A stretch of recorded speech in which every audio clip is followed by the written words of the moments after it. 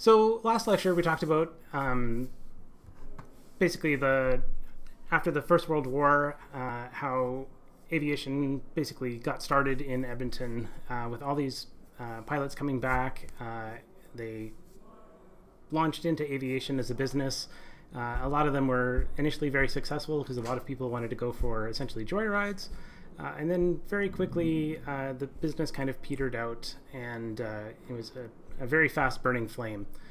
So, unfortunately, uh, it, it almost killed the aviation industry in, in, in Edmonton, at least. And if it wasn't for um, a few very determined people and some uh, very specific projects, uh, we would have lagged quite a bit behind. But because of these projects, we ran, managed to catch up in the late 20s and it was this, these efforts in the late 20s that really made Edmonton uh, an aviation city.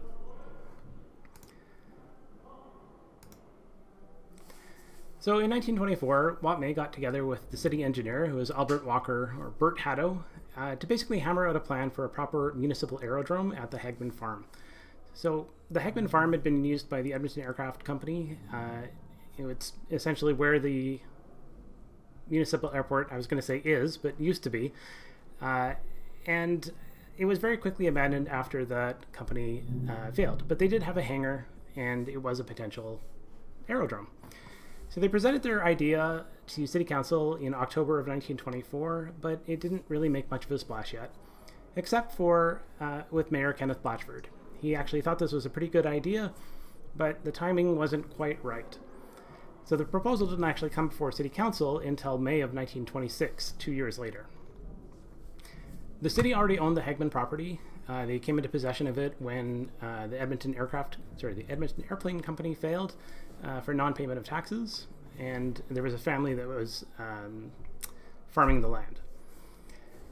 Kenneth Blatchford uh, is a pretty interesting character. He moved to Edmonton from Manitoba as a kid, uh, and he worked quite a few odd jobs in Edmonton before becoming the mayor. Um, so he operated a grist mill during the gold rush, um, and he was an employee of the Edmonton Power Plant. He was first elected to city council in 1921. Uh, and back then there was only one year terms, so uh, he was elected for a one year term as an alderman, uh, re-elected to a two year term in the 1922 election. Uh, then he resigned, ran for mayor in 1923 and won, was re-elected in 24 and 25. So, uh, you know, he managed to get re-elected year to year, but there was a lot of volatility and uh, not a lot of long term planning, or a lot of potential for long term planning. But luckily, he got the aviation bug. Wop May, though, um, after the Imperial oil flights up to Norman Wells, uh, things slowed down significantly for aviation and especially for Wop May. Uh, and he also met Violet Bode, who is an English woman who had moved to Canada. Uh, she'd moved to Edmonton via Victoria and Calgary, uh, and they met at a horse show, and she was an equestrian. Uh, they later met because she was also a receptionist at the city commissioner's office, and they started dating. And soon enough, they were engaged to be married. Uh, and in November of 1924, made it official, which uh, warranted quite a few articles in the Edmonton Journal. Uh, so this one here is on the women's page, uh, just talking about the warrior of many battles bows to Cupid's dictates. and then also in the sports section, where Wop May crashes, but uh, he falls in love, essentially. So, because of this marriage uh, and the downturn in the aviation economy in Edmonton, uh, he was really needing to find steady work, and he knew that aviation wasn't really at, ready at that time. He had a lot of mechanical skills. Uh, he had worked for his uh, family business, uh, so he decided to take a new job with the National Cash Register, National Cash Register Company. So to do that, the young couple moved to Ohio in the summer of 1925 so that he could train on their machines uh, and become a cash register repair person. Oops. So while there, uh, he's working on a lathe, and a small uh, splinter of steel flies off the lathe and into his right eye. He's rushed to the hospital. Um, the doctors are initially, they remove the piece of steel, and they're initially hopeful that he's going to regain a full sight. But unfortunately, that's not the case, and the damage would, was permanent. So this is an article from the Edmonton Journal at the time. So Captain Wop May, who sustained an injured eye from flying pieces of steel, yada yada yada. Uh, it is confidently expected that normal sight will be restored. Um, This was actually a lie, and the damage was permanent. So he and Vi had to keep the secret as long as possible because uh, they knew that if uh, the full extent of his injury was known, he would lose his flying license. And he did really hope to get back to flying one day. Uh, if you've seen the recent uh, short film, Wop May a Blind Ambition, they cover this uh, pretty good detail. So this is a screenshot from the recent movie. So, with nothing much happening in Edmonton, I'm going to skip around a little bit and leave our Edmonton bubble. So, we'll talk about aviation uh, in Canada, in Alberta, and just how it ties back into Edmonton. So, first we have the Canadian Air Force of 1920 to 1924. So, it's formed by the Canadian Air Board um, mainly to meet the responsibilities for the air defense of Canada. It primarily started as an air militia and managed by the Air Board, and mainly to give refresher courses to veterans at Camp Borden in Ontario. So between 1920 and 1928, there was about 1,300 airmen and 550 officers that completed a 28-day course at Camp Borden. The idea was to keep them current so that if war broke out, Canada would have a reserve of trained pilots and trained mechanics uh, and, and, officers uh, in order to furnish our own Air Force uh, during the war. In April of 1924, they're given the Royal Prefix and they become the Royal Canadian Air Force with a grand total of 62 officers and 252 airmen on strength. Pretty small. Uh, and initially, most of the work that was done by the RCAF uh, was not very military in nature. They were doing photo surveys, airlifts, um, casualty evacuation flights, airmail delivery flights, fishery patrols, border patrols, transportation for government officials. So, uh, not so much a fighting and bombing uh, perspective. So the Air Board became the responsibility of the Department of National Defense in 1922, uh, who in turn made the Canadian Air Force responsible for all flying operations in all of Canada, military and civilian. So at this time, the Air Force is essentially the overarching body for military and civilian flying. The Canadian Air Board began operating in High River, uh, the High River Air Station, in January of 1928. Uh, I have, I'm not dyslexic, but for some reason I want to call High River High Prairie or High Level. So if I do that, just ignore me. I'm only talking about High River today, which is in southern Alberta. Uh, so this Canadian uh, uh, air station initially oper- operated in Morley, Alberta, but the weather in Morley was pretty terrible for flying. Very unpredictable. Uh, so they abandoned Morley and moved it to High River. And at first, they had pretty much an entirely civil function, uh, and they were the largest air station in Canada. They were furnished by a gift of uh, about 10 war surplus aircraft that Great Britain, Great Britain had sent to Canada after the First World War. Then, during the late 1922 uh, reorganization of the Air Board and the Canadian Air Force, operations at High River came under the umbrella of the Canadian Air Force, and then in turn the Royal Canadian Air Force. And typically, their flights were um, mainly forestry patrols of the foothills and the mountains uh, west of High River. Uh, they also conducted aerial photography flights, uh, parachute trials, pest control, uh, and they did a lot of experiments with wireless radio communication. So, in conjunction with the Canadian Corps of Signals, uh, they erected North America's largest radio transmitter in High River. So pr- primarily, uh, early on, they're flying the Airco DH4, later su- supplemented by the Avro Viper, and then in 1928, the de Havilland Moth, at that time, a Cirrus Moth. Uh, so the aircraft here is an Airco DH4, uh, Garth Charlie Yankee Delta Mike of the Canadian Air Board in High River in 1922. So back in Edmonton, we skip to 1926, uh, and Mayor Blatchford decides to really start seriously working on this idea of a municipal aerodrome in Edmonton. So he turns to Major uh, Cuff of the uh, the commander of the Royal Canadian Air Force Station in High River and asks for his opinion on the Hagman Farm and its suitability as a potential aerodrome. So he comes to Edmonton, uh, does a reconnoiter of the Hagman farm and tells them that as it stands, it's really not suitable, but with a lot of work or moderate amount of work, it could be made to be a fairly decent airfield. So the idea goes before City Council, and on the 10th of May 1926, the city votes to fund uh, $400 for the construction of an airport at the Hagman farm. Uh, $400 in 1926, when you factor inflation, is about equivalent to $6,500 in 2022. So really not a lot of money um, when you when you factor up the cost. so they get to work immediately by removing the thick brush that covers most of the farm. They roll down the clearings uh, and they're planting grass for the runways. The grass is pretty important uh, because it, it keeps the ground together, uh, it keeps it from getting muddy and bogged down in the rain. Uh, and of course, it being a farm, it's full of rocks and brush, uh, and it's pretty nasty. So they roll down some runways, and they plan for two runways at first one running east west and the other north south. Uh, and each of them is about 275 meters long, or about 900 feet. And so, for a point of comparison, if you're familiar with the runways at the municipal airport before it closed, they were 5,870 feet and 5,700 feet long. Or if you're more familiar with Parkland Airport, because you're a member of the Flying Club today, uh, Parkland Airport is 2,274 feet, uh, unless you're comfortable running off the end of the runway into the ground, and then it's 5,200 feet. Uh, the horse down plow that is used uh, for breaking up the brush is actually here in the Aviation Museum on display.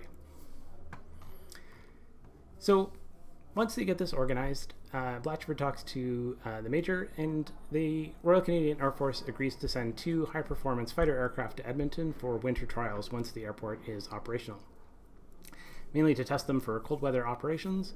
And Blatchford really hopes that they're able to move the Royal Canadian Air Force Station from High River all the way up to Edmonton permanently. But uh, in order to do this, the Air Force asks for a third diagonal runway, uh, which drives the cost up another $200, which is 50% overrun. That year, Blatchford leaves office, uh, city office, and he runs for the federal election uh, as a liberal in Edmonton East.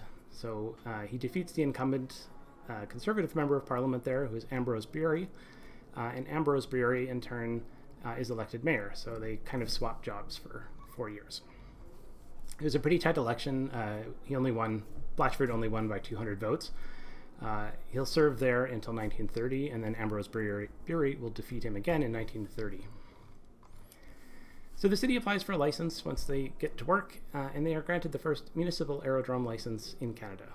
They also decide to name this aerodrome Blatchford Field in order of the former mayor that got everything organized.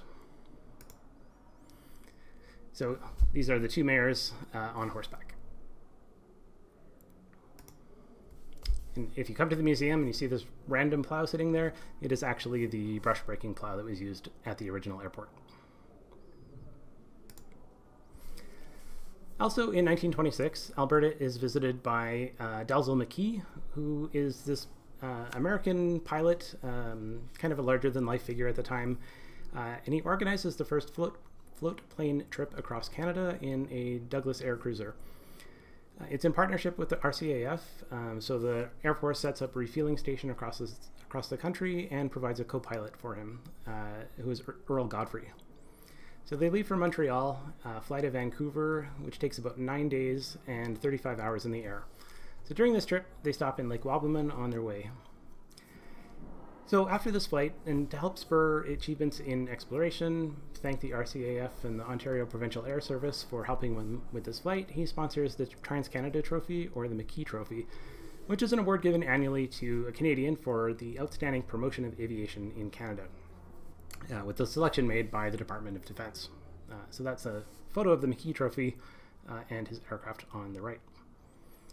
The next year, he plans an even larger expedition. Uh, he's going to add, he's going to fly the same aircraft, but add two Vickers Vedettes and fly from Montreal to Herschel Island via Prince Albert, Edmonton, and then the Mackenzie Valley, uh, using two of these Vickers Vedettes built by Canadian Vickers in Montreal.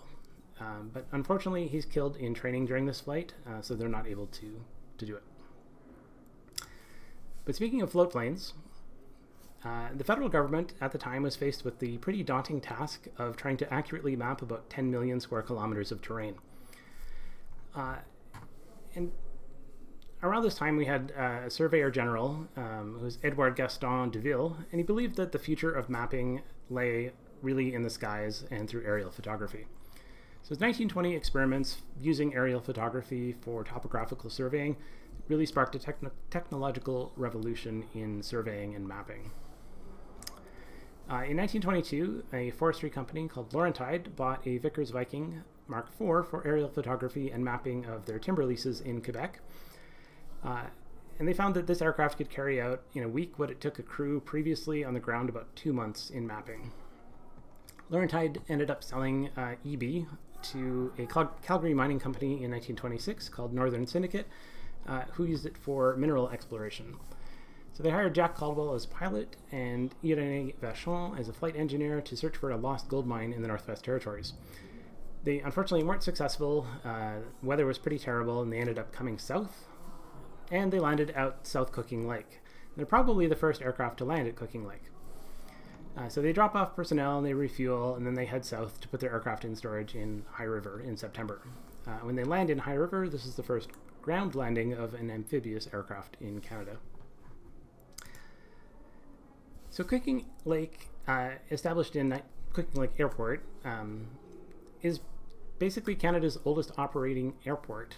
Um, and it's one that we don't necessarily talk about enough uh, in the museum because it was really quite important to the early establishment of air service in Edmonton.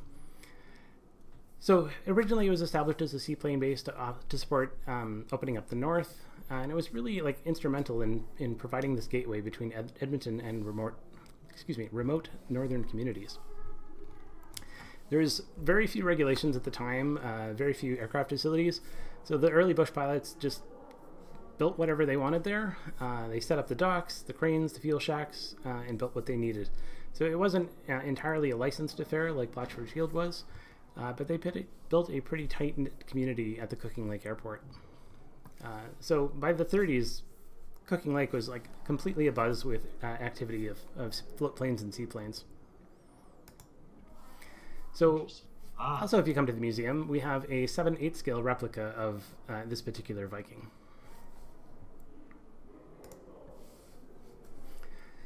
So, meanwhile, uh, at uh, high level, the uh, aircraft that the Royal Canadian Air Force had agreed to send to Edmonton was the Armstrong Whitworth Siskin. It's a biplane single seat fighter aircraft uh, designed by Britain's Armstrong Whitworth uh, Aircraft Company. This is the first all metal aircraft operated by the Royal Canadian, uh, sorry, the Royal Air Force and the Royal Canadian Air Force and it was one of the really new post-war uh, fighter designs to come out after the First World War. So it had its first flight in May of 1919. The Siskin was generally a pretty capable aircraft. Uh, it had a uh, not a very good engine at first. Uh, they replaced it with the much more capable Armstrong Siddeley Jaguar in March of 1921. Uh, and then in 1922, they changed its construction to all metal, uh, and that's the version that went into into production in 1922 uh, and came to Canada. The Siskin was a pretty popular aircraft for pilots, um, and the Royal Canadian Air Force ended up operating its Siskins right up until the beginning of the Second World War.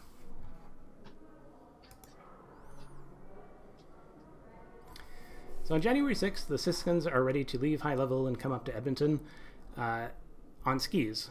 But uh, there's an unseasonably warm period, and the weather strands them.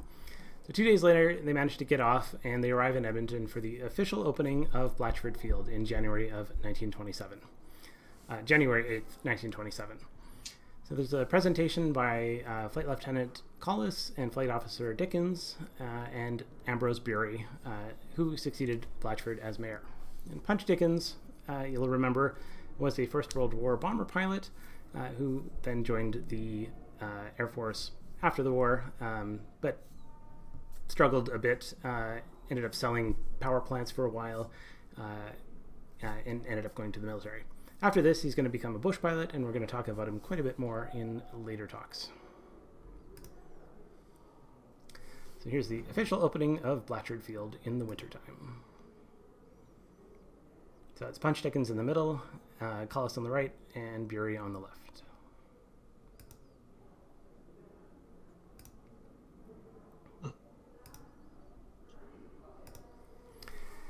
So the Siskins spend the winter of 1927 in Edmonton uh, doing winter testing. Uh, it's generally a pretty successful endeavor with one major problem. Uh, they can only work out of the original Jock McNeil hangar that is there, which has no heat, no electricity, is very drafty, uh, and is already starting to get quite rickety. Uh, so that's the hangar that is pictured behind them there. So Punch Dickins is in the middle, uh, Bert Haddow and Blatchford, he's flanked by Bert Haddow on the left, Blatchford on the right. This photo is from a little bit later. It's from 1930. Uh, what you're looking at is the Royal Alexandra Hospital, and in the distance is Blatchford Field. You can't really see anything, but uh, this this square up here is where Blatchford Field is. Uh, you can kind of see a diagonal runway here, and you can almost imagine another diagonal runway there. Uh, here is 111th Avenue and Kingsway. Well, Portage Avenue then. Here's another aerial photo. This one is also from 1930, so a little bit later, but uh, it shows a comparison of what the area was like in 1930 compared to what it, to what it is like today. Uh, so you get a pretty good sense of where the runways are. They don't exactly match up with the later runways, but pretty close. So uh, during the expansion in World War II, they changed the configuration of the runways just slightly, and of course add uh, a much larger one off on the east. You can also see very faintly here that uh, 118th Avenue actually used to cut all the way through the airport. So it's at this time that they, they remove 118th and uh,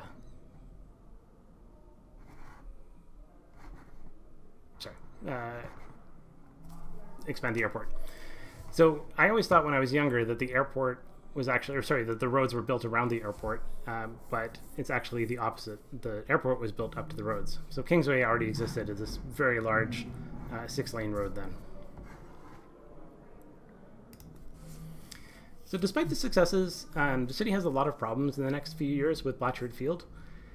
They leased the airport out to a farmer named Mary Watt um, and signed an agreement with her that uh, she's to graze livestock sorry, graze livestock and raise crops in the open areas of the airport, uh, and be responsible for clearing all the brush, breaking the land with the plow, sowing the grass, uh, and turning the airport eventually into one giant grass field within five years.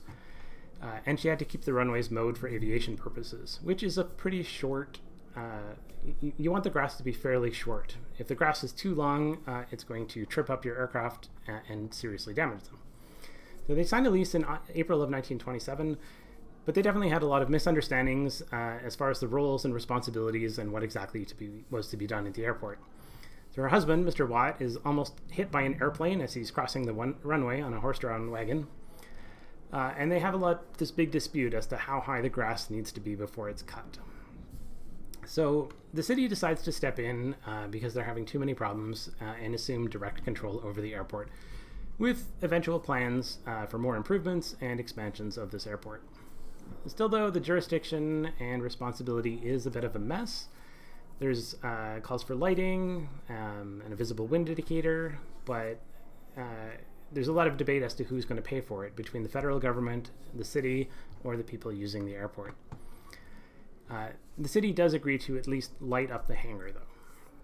And unfortunately, due to uh, uh, despite uh, Mayor Blatchford's very eager petitioning, they're not able to get the High River Air Force Station moved up to Edmonton permanently.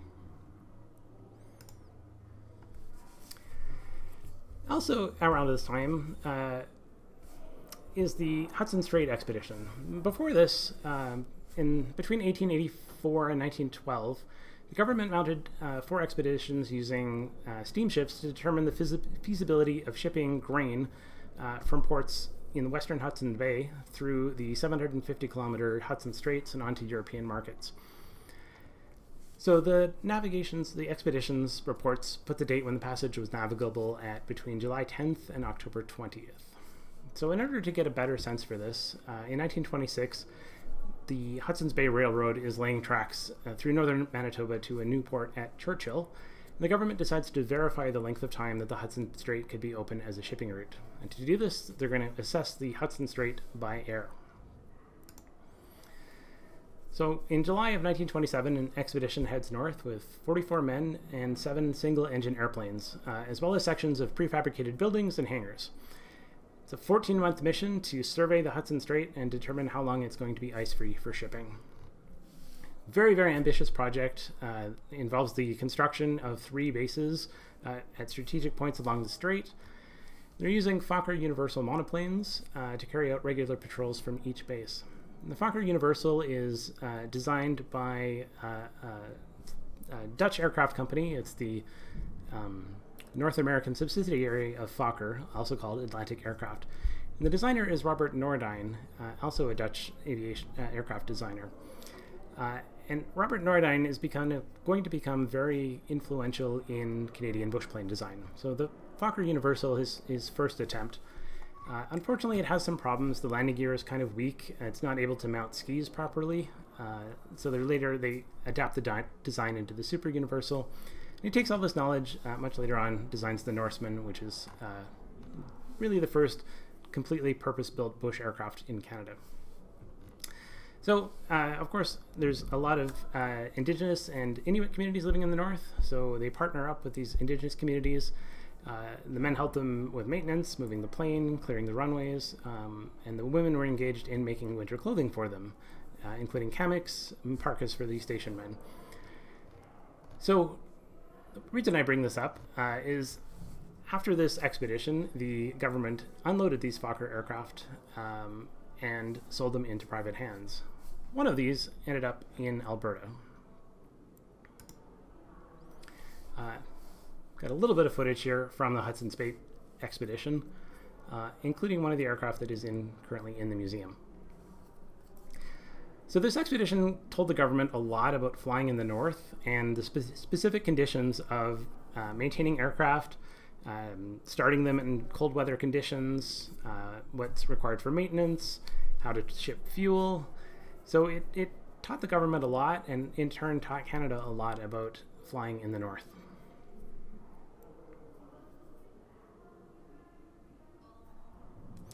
You'd be forgiven if you didn't recognize this aircraft if you visited the museum today. Uh, there's a, another picture of it in the background.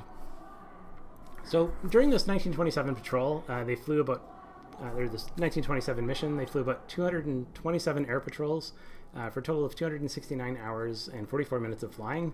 They took 2,300 photographs and collected information on the ice conditions up the north. Uh, they experimented with two-way radio direction finding, aiding marine navigation, and oops, uh, generally, it was considered a very large success. That is unfortunately what the Fokker Universal looks like today. Uh, it served a long life as a bush plane, was abandoned at Cooking Lake, uh, and eventually made its way to the city and to us. Eventually, I would really, really like to restore it one day, but uh, not quite in the cards yet. So,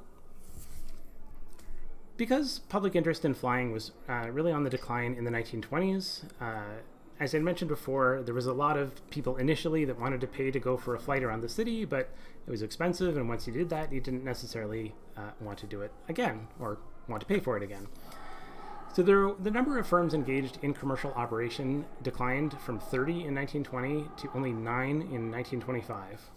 That's not just like Alberta. In all of Canada, it went from 30 to 9. The number of flights flown by these companies declined by 90%, so from 18,671 flights in 1920 to 1,829 flights in 1925. So, mid 20s, Canadian authorities were starting to get pretty alarmed by these statistics, and they were concerned that Canada was really falling behind the United States, uh, which was already offering transcontinental air services. So, bush aircraft, bush flying operations are starting to take hold uh, in the mid to late 20s but uh, the populated areas of Canada lacked, lacked proper airport facilities, and we really lacked a lot of licensed pilots. So the government said, you know, we have to do something about this, uh, or we're going to be completely left behind.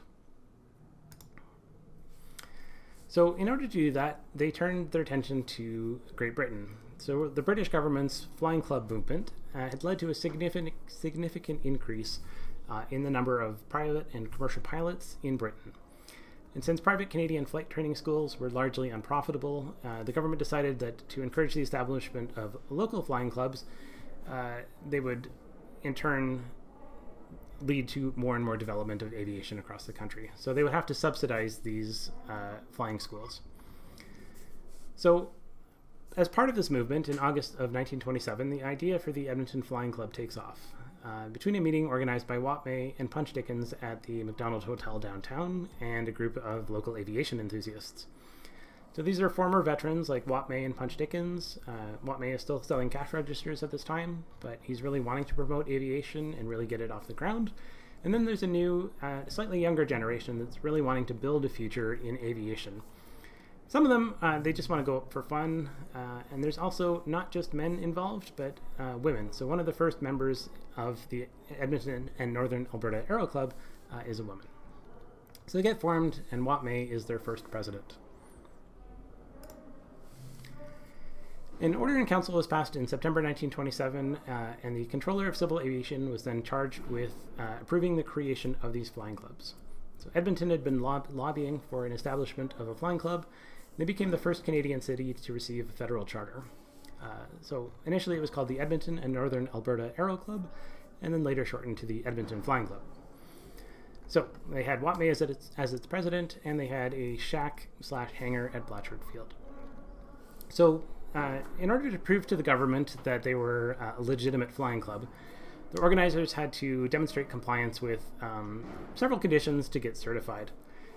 So they had to provide a competent instructor, an aircraft mechanic, uh, and they had to have at least 30 members that were seeking flying instruction uh, with a minimum of 10 licensed pilots uh, that were interested in continu- continuing their flying. In our case, uh, our formal application listed 35 members prepared to qualify as pilots, so 35 interested students. We had 12 qualified pilots, uh, including notable people like Wop May, Cy Becker, and James Bell. So by 1927, sorry, by the end of 1927, Edmonton uh, was one of five clubs that were approved in Canada, uh, and then 11 others were under various stages of development. So over the winter of 1927 and 1928, uh, 125 members put their $1 down to join, uh, and then 90 of them would pay the $25 to sign up for ground school, which is about equivalent to $400 today. So no chump change. The ground school was 30 lectures held at the Prince of Wales Armory. Early on, the city and the Aero Club had a very close relationship because the city realized that the club was a real asset to the proper administration and successful operation of the airport. So they signed an agreement that uh, the city would equip and maintain the hangar, the club would pay for the light, power, telephone hookup, uh, gas, water, fuel. Uh, the club was also uh, able to operate any service stations on the airfield, uh, and they would be in charge of managing traffic at the airport. In turn, if any other companies wanted to set up at the airport and build a hangar, they'd have to pay a usage fee to the flying club in order to do so. Once the club was certified, the Canadian government, through the Royal Canadian Air Force, committed to providing on loan two light aircraft, which were usually de Havilland Moths, uh, and $100 for each student pilot, pilot that qualified for a pilot's license up to a maximum of $3,000 a year per club. And they agreed to set up a board of inquiry that would be able to investigate any potential crashes. The Air Force would also provide an additional aircraft uh, for each club for every one purchased by the Flying Club during its first five years of operation. So, if the Flying Club is able to raise enough money to buy an aircraft, the government would kick in and uh, match that. So, the club's first aircraft arrived on May 22nd. Wop May went down to high level to pick up a de Havilland DH 60 Cirrus Moth, uh, which was Gulf Charlie Alpha Kilo Juliet, uh, followed shortly thereafter by ALB. So these are the two, the first two Cirrus Moths at the Flying Club. Uh, early club members uh, included pilots and engineers with a wealth of experience. Um, EGA Burke had 2,500 flying and instruction hours already on many types, including the Moth.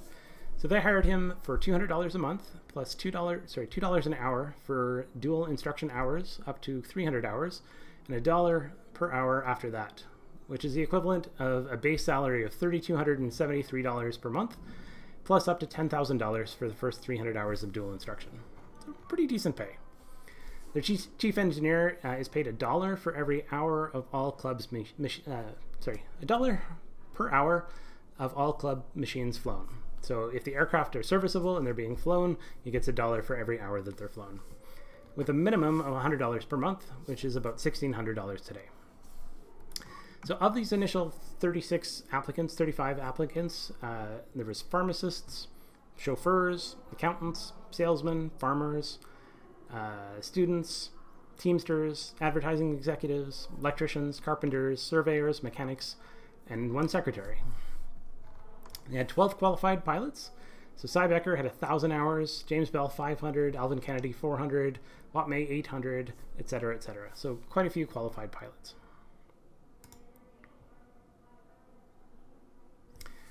So this aircraft that they uh, first trained on, the de Havilland Moth, was the first in a long series of Moth aircraft built by de Havilland.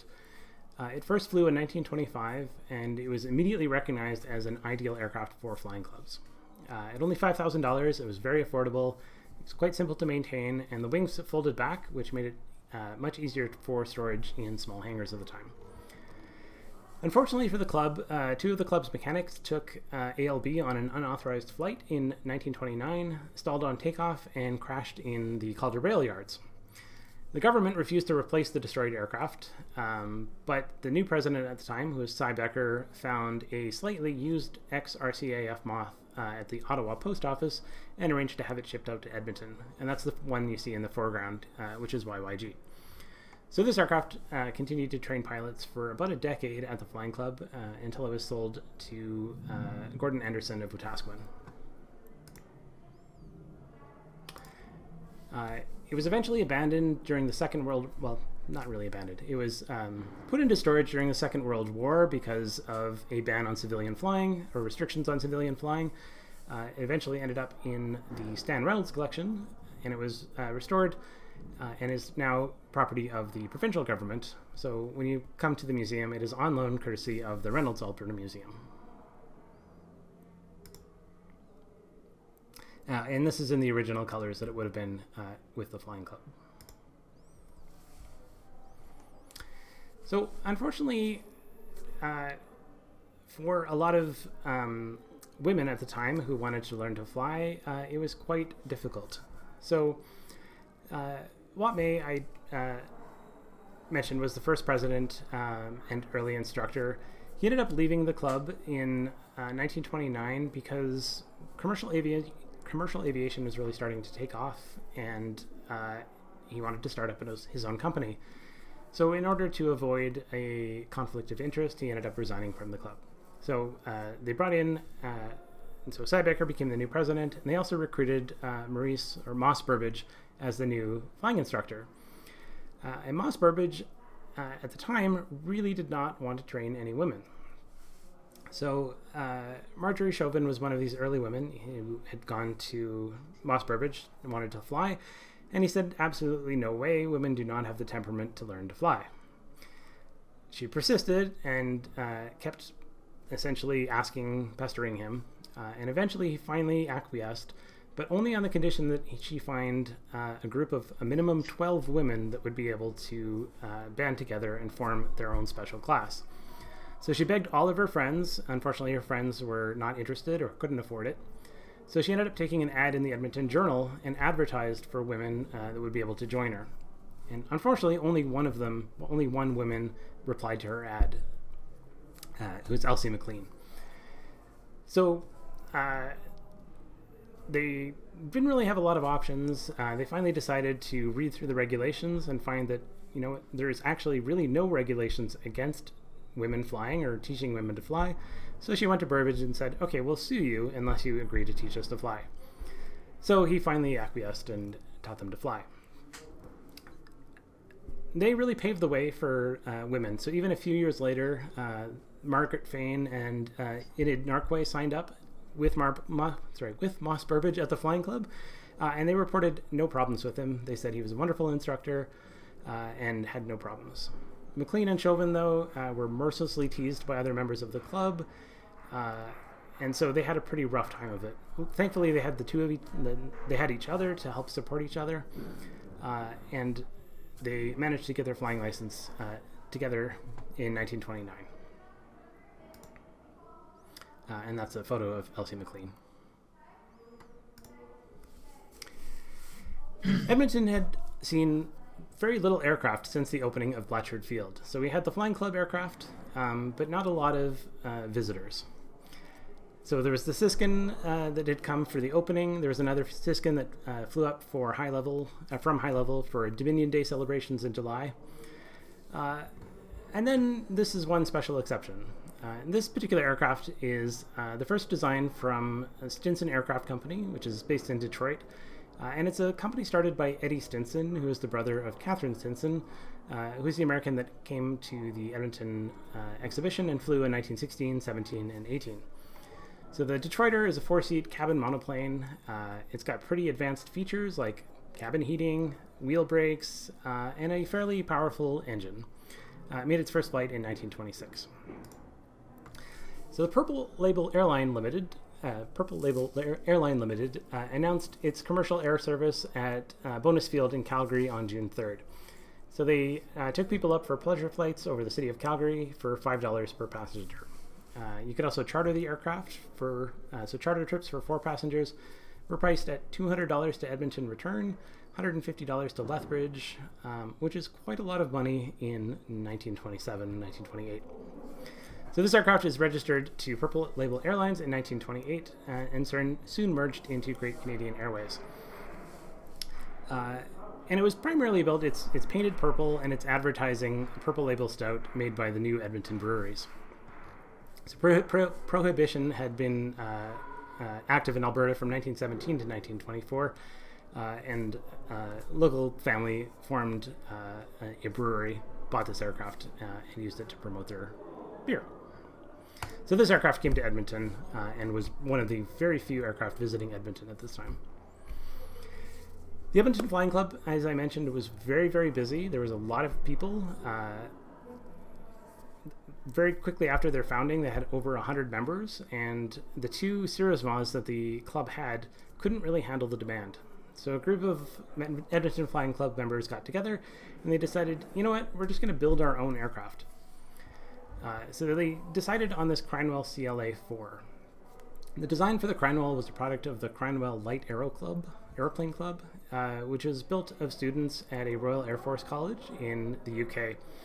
Uh, so it's an am amateur amateur built design. They built two in the UK for um, some trials. Didn't do particularly well uh, in the trials. Uh, it had engine reliability issues, but the members of the club heard that this aircraft was going to do well, so they sent away for the plans. The Cranwell is a fairly unusual biplane. Uh, its top wing is about 20% smaller than the bottom wing, uh, which makes it look quite quite strange. And when you initially look at it, it looks very small, but the wingspan is actually quite large. So anyway, they order plans, they get the blueprints, and they start building this Cranwell in Alf Want's basement, who is one of the members of the club. Unfortunately, building an aircraft is actually fairly complicated, especially if you've never done it before. Uh, it was a lot of built, a lot of work to build this aircraft from scratch.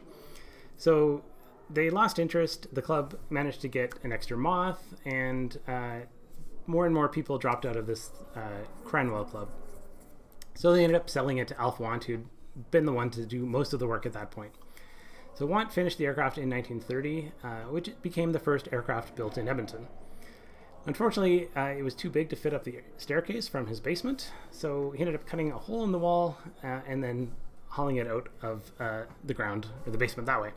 So he moved the plane to Blatchford Field uh, and flew it pretty much year round. So in the wintertime, he fitted it with skis uh, so it could take off and land in the snow. And it flew pretty much year round for the next four years. Uh, he upgraded it with a larger engine, mainly to cope with Edmonton's higher altitude compared to the UK and people my size. Uh, and then unfortunately, a pilot named Jack Lewis crashed the aircraft um, about 127th Street and 119th Ave in February of 1934 because of icing on the wings.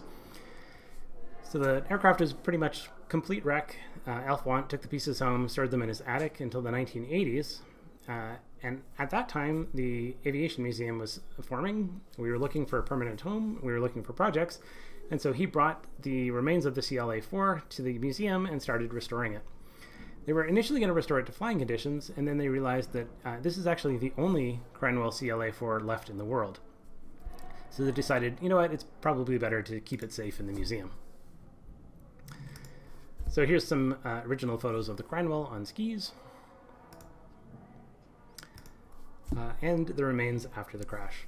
So this aircraft was restored not in our current building, but uh, in Hangar 11 across the way uh, before we'd actually moved into the hangar. So when you visit the museum, you can see the restored Cranwell. we've left one side of the aircraft, you can't really see it on uh, in the photo, but the other side of the aircraft is exposed, so it gives you a good sense of how the aircraft is, how aircraft of the time are constructed. So with this resurgence in the flying club, um, across the country, it really sparks uh, an interest in aviation. It trains a lot of pilots, uh, a lot of mechanics, and it gets cities interested in aviation and building supports for aviation. So the city of Edmonton, they now have a hangar, or so they now have a, an airport, and they decide, okay, what is our next steps? So they start to think about facilities at the, at the airport. Uh, the Jock McNeil hangar is essentially a wooden shack. It's very drafty. Uh, and they decide, you know what, actually, we need more hangars. Well, we need proper hangars. We need more hangars. Uh, and we need to expand the, air, the airport. Sorry, there's chanting going outside, and it's very distracting. Um, commercial aviation also kicks off. So um, not just in, in Edmonton, but in Winnipeg, uh, and starts to spread across the prairies, connecting a lot of these cities. So, as that uh, industry spreads across Canada and these cities decide that they need more and more infrastructure to support it, it's kind of an ebb and flow. As more and more companies come in, they say, okay, well, uh, now if you want us to operate here, we're going to need a hangar, we're going to need lights, we're going to need radios, we're going to need a proper uh, weather station. So, it really spurs a lot of growth. So, next uh, talk in May, we're going to talk about um, basically 1929 and the early 30s and the growth of all of these small bush operations and how they grew, joined together uh, into some of Canada's and especially Western Canada's earliest airlines. So that'll be in May.